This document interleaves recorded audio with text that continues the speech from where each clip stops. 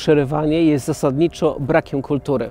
Oznacza, że nie słuchamy do końca tej osoby, która do nas mówi, tylko nad czym się zastanawiamy. I kiedy coś się nam przypomni, to wtedy przerywamy i wypowiadamy swoją kwestię.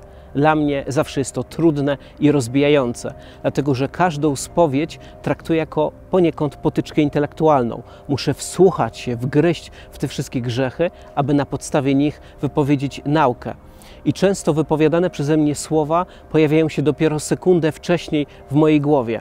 Dlatego jest to wymagające, ale mimo wszystko kiedy coś takiego ma miejsce, a co jakiś czas się zdarza, to nie jestem złośliwy czy agresywny, bo wiem skąd to wynika. Dopowiadanie grzechów oraz komentowanie nauki jest wynikiem napięcia, które jest w penitencie.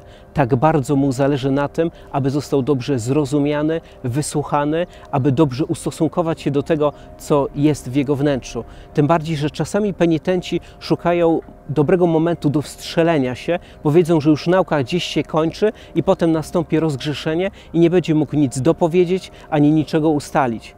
Dlatego chociaż u mnie przeważnie takie wtrącenie powoduje spadek efektywności dalszej nauki, to mówię lepiej wysłuchać niż dobrze powiedzieć.